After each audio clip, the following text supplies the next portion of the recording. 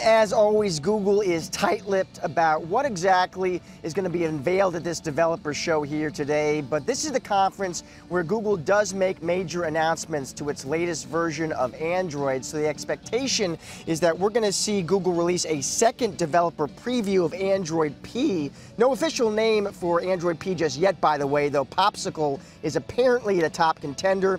Perhaps with Android P, we're going to see more changes to how people interact with notifications and improvements to both security and battery life. Also sure to be in focus today here is going to be AI. Sundar Pichai has made it clear that artificial intelligence is the cornerstone of his company's future.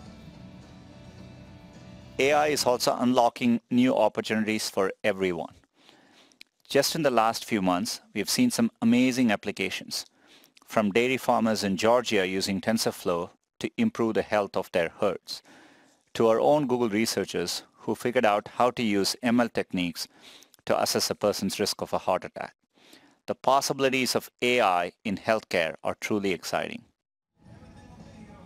Now remember at last year's I.O., Google also announced plans for a standalone VR headset. Its partners like Lenovo followed through with devices like the $400 Mirage Solo. So one question people have is whether Google is going to use the conference today to push even harder into AR and VR, where global spending is expected to reach a combined $18 billion this year. Now as this conference kicks off, we know Alphabet stock hasn't done so much this year. It's basically flat year to date. Sundar Pichai's keynote starts at 10 a.m. local. We'll be here and bring you headlines as they come. Guys, back to you.